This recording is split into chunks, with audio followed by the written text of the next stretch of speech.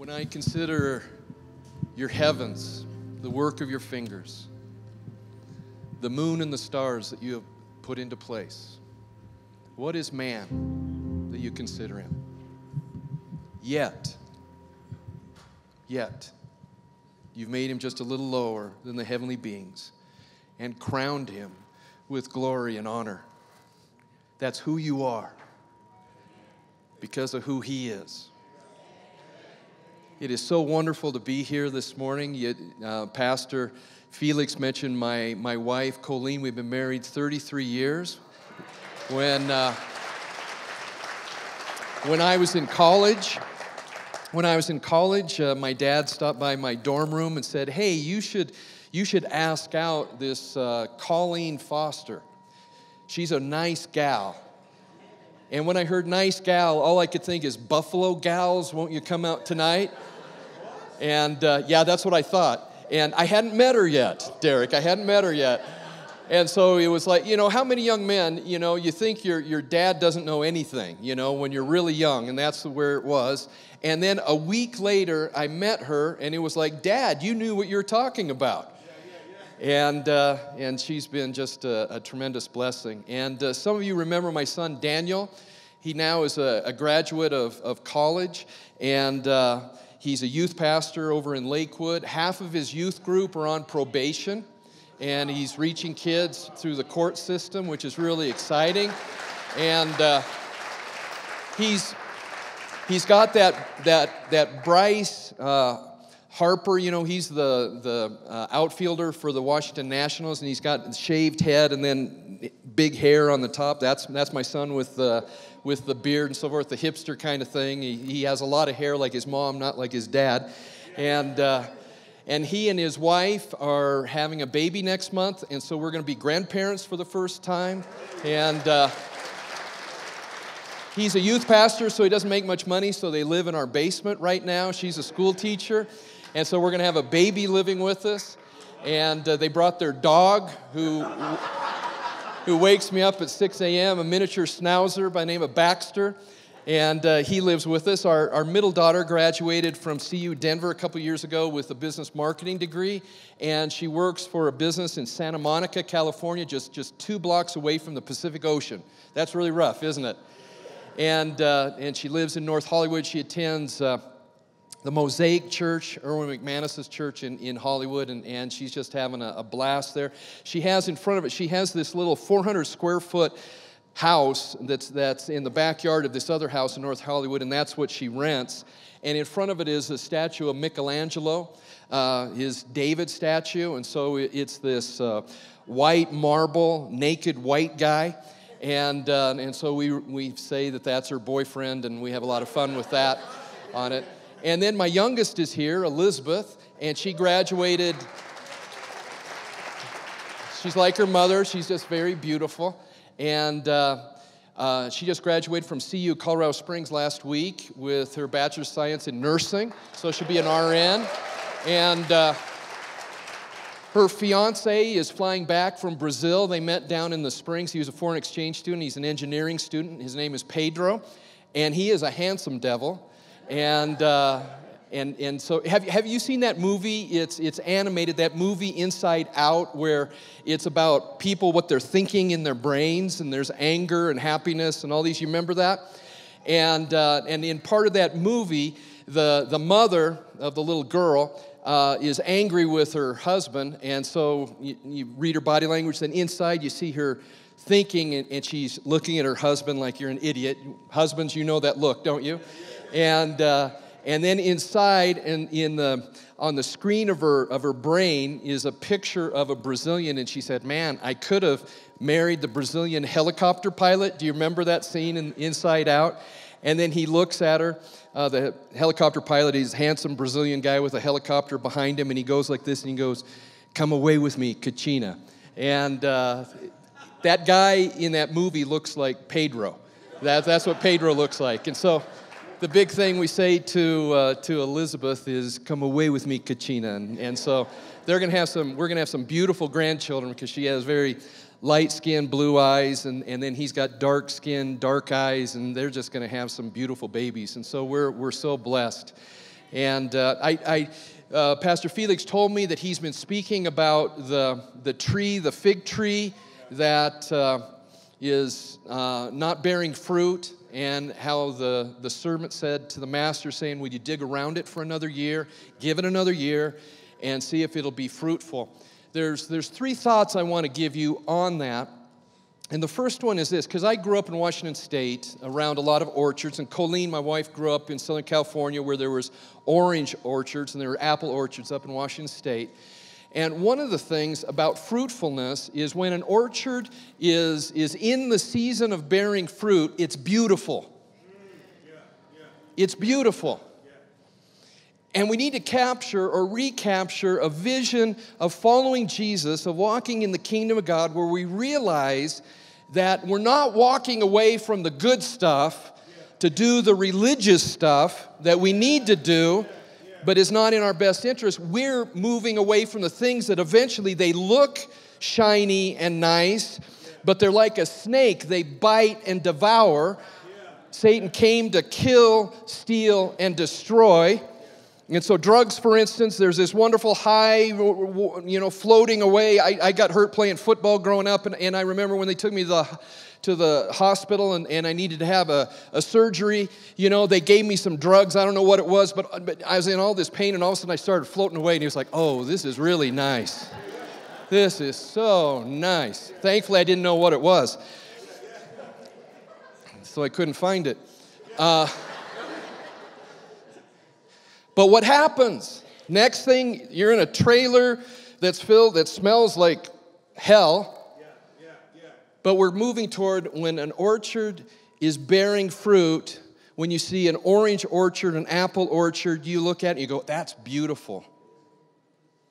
And when our lives are fruitful, they're beautiful. Second thing is when an orchard is bearing fruit, it's valuable. Look it up, Google it.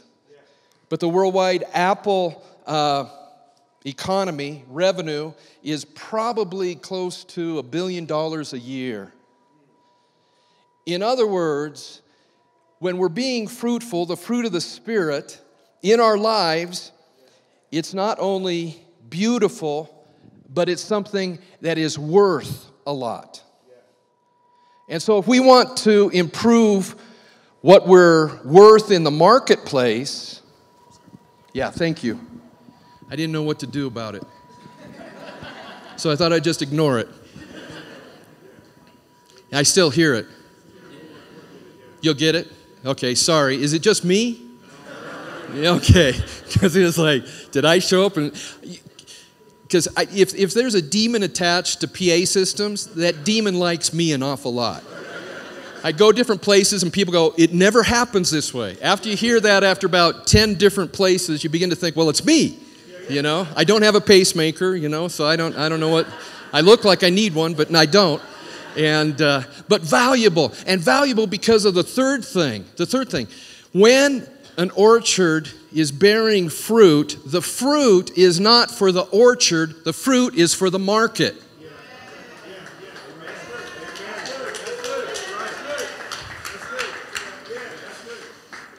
In other words, you're valuable, first of all, just because you're made in the image of God. But we have to be practically valuable. But when we're bearing fruit, we're practically valuable because we're bringing something that is of worth to other people. And that's what Jesus did. Now he has a name above all names because why? He set aside his rights as a son of man and came to serve. He came to serve, not to be served, and to give his life as a ransom for many. You see, we understand that the, we're more valuable in the marketplace when we bring greater value to the marketplace. And so I just want to encourage you.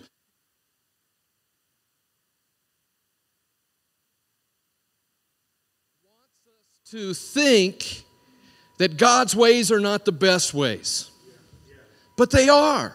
They're not the easiest ways, but they're the best ways.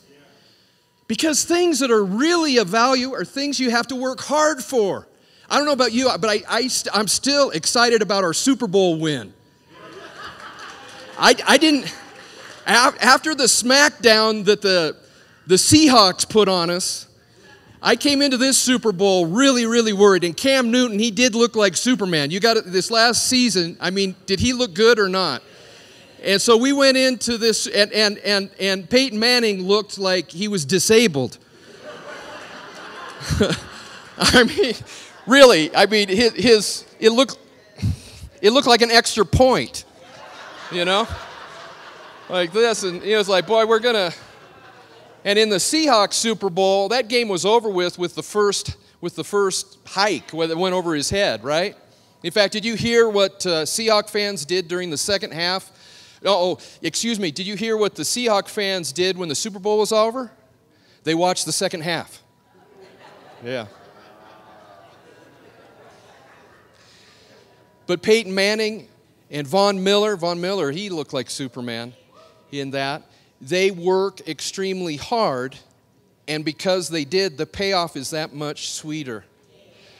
So this morning, I want to tack on to what Pastor Felix has been teaching you about being fruitful. And first of all, can, can we begin to, by the Holy Spirit, begin to capture the hopefulness of being fruitful? That in being fruitful, I become more beautiful from the inside out. And that's what we need. We got a culture that's telling us that beauty is just skin deep. No, it's not. In fact, Abraham Lincoln said this He said, After the age of 50, you get the face that you deserve. and so beauty comes from the inside out, right? That's who we are, that's who I am. And so fruitfulness makes us more beautiful. In the, in the wonderful, have, have you ever seen? My mother is 96 years old. She still scares me. She, I, I, wish she was here. I wish you could meet my mother. She would have loved this worship time. And uh, uh, my mom, though, she's 96 years old. She used to be 5'6. She's now about 5'2. She used to be, I don't know what she weighed. I mean, you know, she was my mother. I don't know how much she weighed. Now she probably weighs 90 pounds. She is small.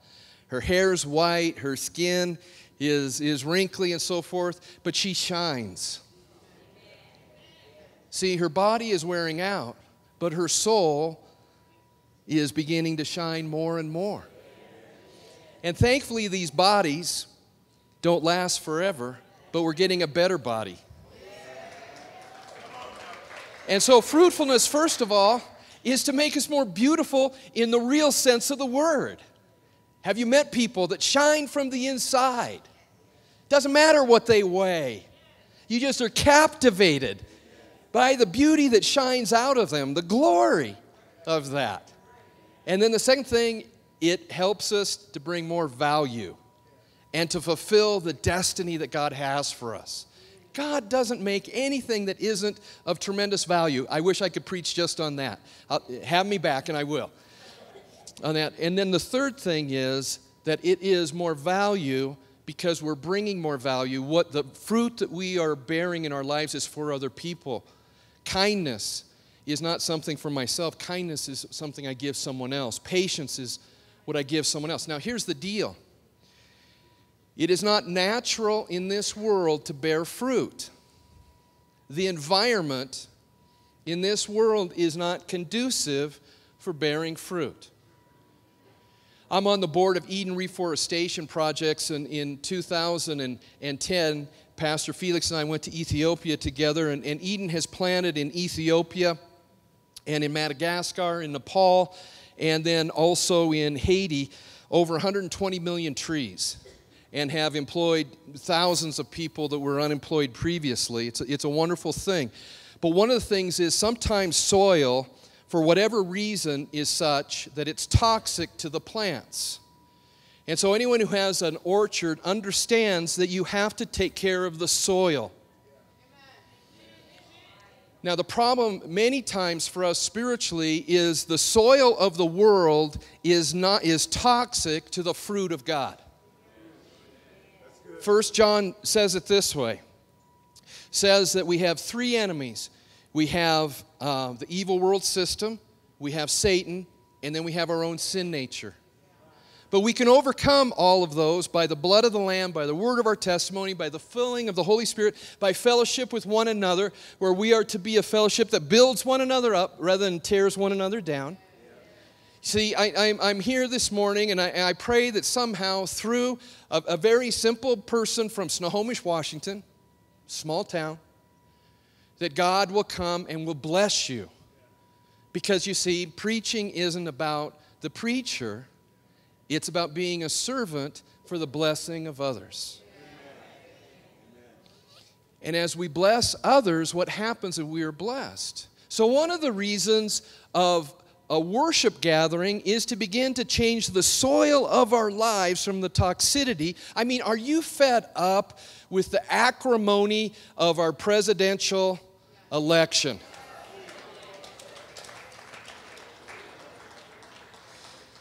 I haven't agreed 100% with, our, with all the policies of our present uh, President Obama, but let me tell you something. He's head and shoulders above the two candidates. We, I'm sorry, I'm going too far. I shouldn't get into. Yeah. Thankfully, our trust is in the king rather than in the president. Because, and, and also, I could be wrong. Maybe, maybe one of them will do a good job. I, I pray they will. If they do, God answers prayer. Okay. At Talbot Seminary in Southern California, a course I took was with Dr. Neil Anderson. Maybe you've read some of his books, The Bondage Breaker, Victory Over the Darkness, where he talks about deliverance and when he talks about deliverance, he's talking about spiritual warfare, overcoming principalities and powers, overcoming demons. They're very real, that are always constantly trying to take uh, arrows into our hearts and into our minds, into our soul, pulling us away from fruitfulness, trying to poison the soil of our soul. And he said that there's certain things that lead to that toxicity, that, that, uh, that poisoning of the soil of our soul. And one of them I want to talk about this morning from Jonah chapter 4, and it is bitterness. It is bitterness, it is resentment. Some of us have gone through experiences in our life that are very traumatic and can be life altering. We're seeing that more and more with our GIs coming back from Iraq and Afghanistan that have post traumatic stress disorder. And they just have this huge weight of brokenness that they have to overcome. Some of us can relate to that because rape, for instance, can lead to the same kind of symptoms. So there can be large traumatic events that can happen to us that then Satan wants to turn that into toxicity into the soil of our soul so that we can't bear fruit and we're unhappy. And we make other people unhappy because we are unhappy that we are unhappy, and so we don't want anybody else to be happy. Hmm?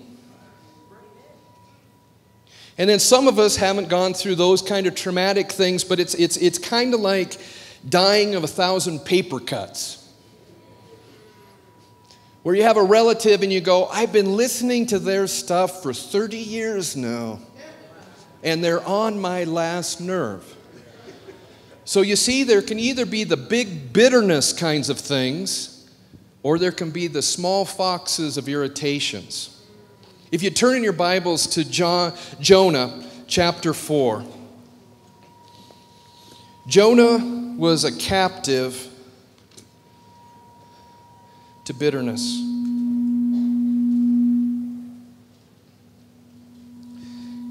Jonah chapter 4. It is me. If you notice, when I pull it away from my body, it stops. So it's, it's, it's me. But Jonah was greatly displeased and became angry. He prayed to the Lord, O Lord, is this not what I have said when I was still at home? That is why I was so quick to flee to Tarshish. I knew that you were a gracious and compassionate God, slow to anger and abounding in love, a God who relents from sending calamity. Now, O Lord, take away my life. It is better for me to die than to live. But the Lord replied, Have you any right to be angry? Jonah went out and sat down at a place east of the city. There he made himself a shelter, sat in its shade, and waited to see what would happen to the city. Then the Lord God provided a vine and made it grow up over Jonah to give shade for his head to ease his discomfort. And Jonah was very happy about the vine.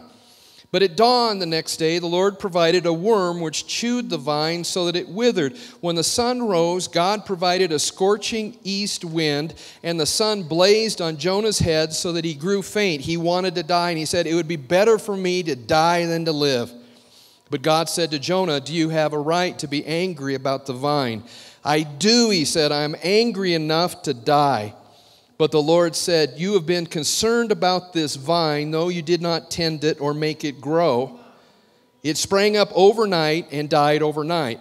But Nineveh has more than 120,000 people who cannot tell their right hand from their left. In other words, 120,000 children that are so young, you go, raise your left hand, and they go like this. They, they don't know.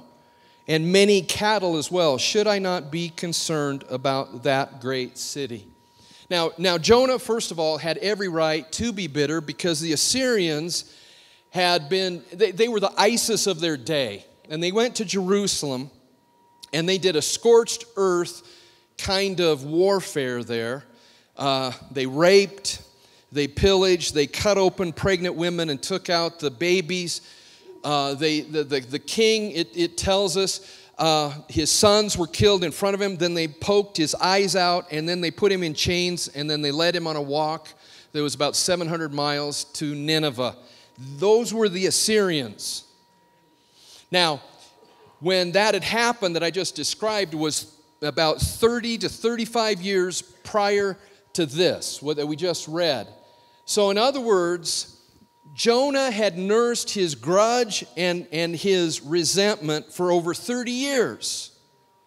And if you noticed in this scripture right here, it, it tells us the negative consequences because Jonah chose to live in bitterness rather than in forgiveness. And you see, forgiveness is the fertilizer that can take poisonous soil and turn it into fruitful soil. If you try to grow your life in the soil of bitterness, you're not going to get a good crop. You're not going to get a beautiful crop. You're not going to get a valuable crop. You will get a bitter crop. You'll get a broken crop. We have to change the soil to be able to change the fruit.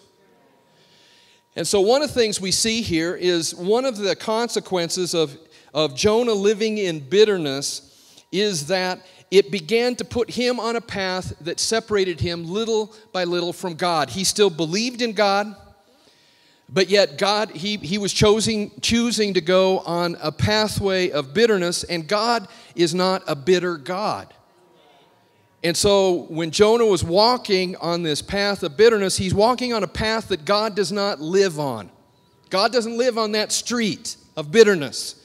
God lives on the street of grace and mercy and compassion. So, what was happening is little by little, he's separating from God. The other thing is, he isn't able to heal. It's interesting to see what God did there. God gave him this vine, God blessed him. But then God was willing to take away the blessing that he had given Jonah to reveal what was in Jonah. And that and God is willing to do that even in our lives. He give, gives us blessings because he's a good God. That's who he is but he is the most concerned about who you are deep within your soul because he loves you so much. And if he needs to withhold or take back some of those blessings to reveal to you what is in your heart. You see, with Jonah, there's this worm, and all of a sudden the vine, he's like, I got this vine, it's a desert out here. I, am not, you know, if I'm bald, you know, I'm not getting scorched up here and so forth, and uh, life is good. And then it says in the scriptures that he provided a worm, and the worm ate it, and the vine died. And what happened to Jonah? He instantly was angry because that's where his heart was at. That's who he is in the soil of his heart. So, what is the answer? The answer is something that we don't see here in Jonah. The answer is where we see in a separate scripture. If you turn over to Lamentations chapter 3, Lamentations chapter 3. And Jeremiah had lived through the same thing that I just described about the destruction of Jerusalem. And notice in verse 19, the weeping prophet Jeremiah says this I remember my affliction and my wandering, the bitterness and the gall. I remember them well, and my soul is downcast within me. He remembered everything that I described that Jonah went through. Jeremiah saw it also. And Jeremiah says, When I remember that, I'm depressed. See, what we dwell on, our emotions will follow that. But there's a change between Jonah and a difference between Jonah and uh, Jeremiah, and we see that in the next verse, verse 21. Yet this I call to mind, and therefore I have hope. You see, to begin to change the soil of our lives so that we're fruitful. So, so there's that beauty of the orchard, and, and there's the, the value of the orchard, and there's the value add of the orchard to others. To have that, there has to be a change in our thinking. That's why Romans 12:1 says to be transformed in the renewing of your mind. You see, if we constantly dwell on those things in the past that went wrong, it is going to embitter our soul. So, what does he uh, put his mind on? Yet this I call to mind, and therefore I have hope. Verse 22 Because of the Lord's great love, we are not consumed, for his compassions never fail. They are new every morning. Great is your faithfulness.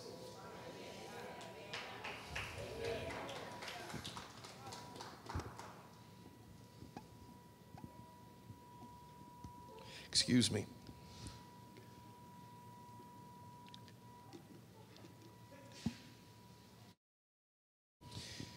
Those of you that read Sports Illustrated, you've heard the name Rick Reilly. And uh, he's an award winning uh, writer that writes predominantly for uh, Sports Illustrated or ESPN. And in April of 2011, he wrote an article about Chris Paul. Chris Paul is, is the Los Angeles Clippers point guard. I think a Hall of Famer eventually. Maybe we could debate that.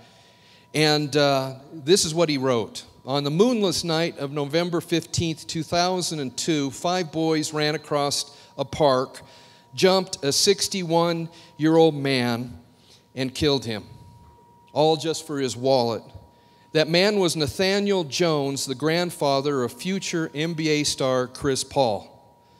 Nathaniel Jones, the man everyone called Papa Chili, was the first black man to open a service station in North Carolina.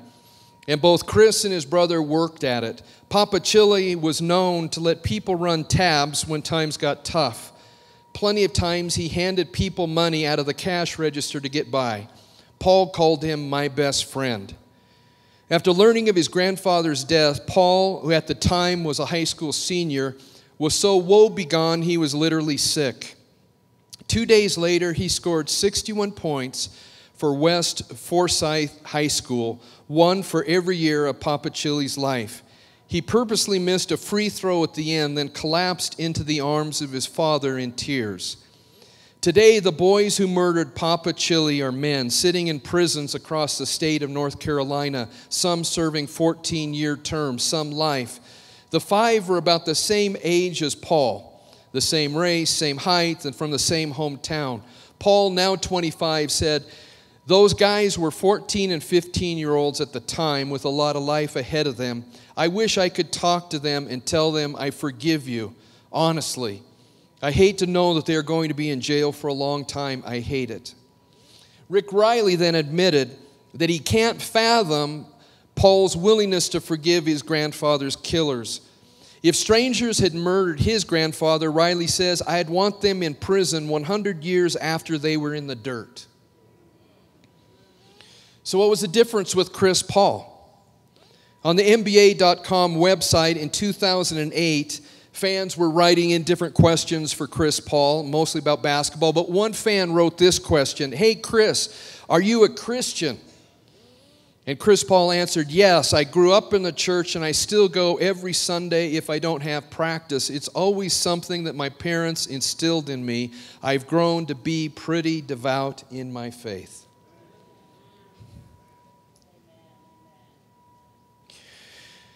Dr. Neil Anderson led us in an exercise then. He's saying that if that one of the places, the doors that we leave open where uh, demonic powers can get uh, a foothold in our soul, a foothold in our home, a foothold around us is with bitterness, unforgiveness, resentment, rage in our souls. And he said, we need to close that door and we need to cooperate with the Holy Spirit to get rid of that so that there is no point of contact that the demonic powers can have inside of us. And so that's what I want us to do in just a, these few moments that we have left together is to pray about this, to do what I was taught back in 1996 in La Mirada, California at, at Talbot Theological Seminary. And so, Marcus, if you would come and, and play this atmosphere of worship, and if you want to, as a congregation, uh, to close your eyes, just giving you some privacy before God. We're just going to go to prayer. I'm not going to ask you to stand. I'm not going to ask you to raise a hand. I have nothing against that, but I'm not going to do that. This is for you. But I'm just going to lead you in that exercise that Dr. Anderson led us in in the late 90s. That I've led many people through this behind closed doors as a pastor, and I've seen God do miracles in people's lives. And what we're going to pray in just a moment is just ask the Lord if there's anyone that we need to forgive to bring that name to mind. And don't resist it, don't question it, just trust by faith that God's going to do that, and names are going to come to mind. I do this on a semi regular basis, frankly, because it's not something to do just one time, it's something to do over and over again, kind of like going to the gym. And so, Lord, I thank you for each person here. You know them by name, you know their story. You know the burdens that they bear. You know the strengths and the talents and the abilities and the dreams that you gave them. You know, Lord, how hard it is on this planet with the evil world system and Satan and our own sin nature that, that we just get so tired of that warfare, Lord. But we thank you, Father, that Jesus took all of that on the cross and then rose victorious over hell and over death and sat down at the right hand of the Father and then sent His Holy Spirit so that we could have victory, so we could live a fruitful life, that the fruit of the Spirit could be in our lives. And so, Father, I pray right now that you would just speak to us and just bring to our mind any names of people that we just need to forgive.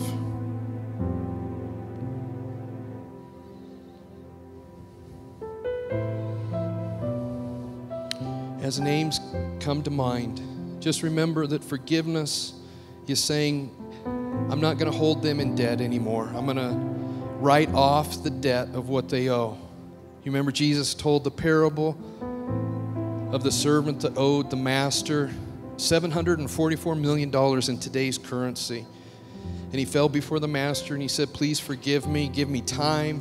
I'll pay it back, even though there's no way that he could ever do that. And remember what the master said in Jesus' story? He said, it, it's, it's forgiven, I wipe it out.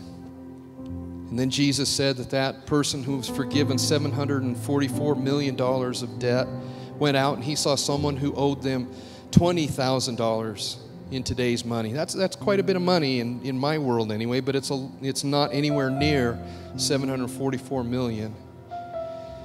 And you remember the, the man that owed him the 20,000 said the same thing, fell in front of him, said, you know, hey, give me time, we'll work out a payment plan. It may take me 10 years, but I can pay this back. And he said, no. I'm going to call the police. I'm going to have you hauled off to jail for fraud.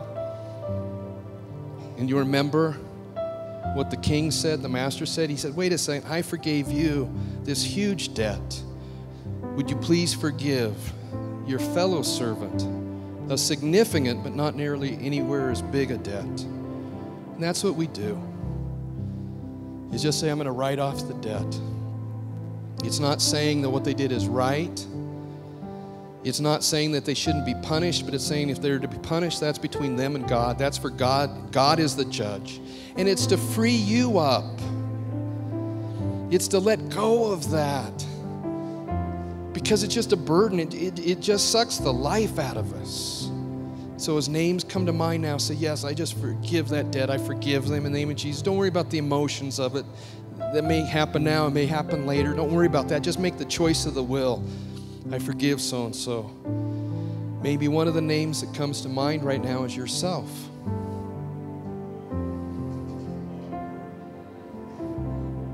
I don't know about you, but for me, Satan reminds me all the time of my sin in the past. And I feel shame and condemnation, and I have to remind myself of who I am and who God is. That His grace is greater, that what sin abounds, grace abounds even greater. And so just accept that you're forgiven. Let it go. Let it go. Well, it's unforgivable. That's what Jesus came to the cross to do was to forgive the unforgivable. So it's covered. Maybe God comes to mind. You feel very disappointed with God. Many times we do that because we put the face of our earthly parents onto the face of God. And that's not who He is. He's a good God. And just say, God, I just want to take care of that. The fruit of forgiveness. You say, well, how do I know when this is taking place?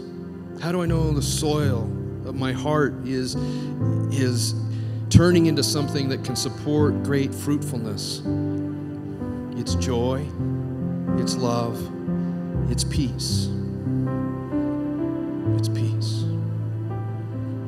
Heavenly Father, I ask in the name of Jesus that as people even now are obeying your word, O oh Lord, to forgive as you have forgiven us. Thank you, Lord, that you're setting us free and you're changing us deep within our souls. And I pray fruitfulness, and I pray peace and joy and love and creativity and abundance over each person that is here and over their household. And I pray against, in the name of Jesus, every demonic stronghold. And we bind that in the name of Jesus that they and their children and their grandchildren may be fruitful vines in the household or the orchard of God. I pray a blessing over RCF. It's been such a blessing already to my family. And I thank you for Pastor Felix and Kotane and bless them and give them rest. Lord, as we move into the summer months, may it be months of rest in you, Lord. Not heaviness, but restoration of a fruitful, soil in our hearts and our minds, and we would give you all the glory and all the praise. For you are so good, Lord. We bless you in Jesus' precious name. And all God's people in agreement said, Amen.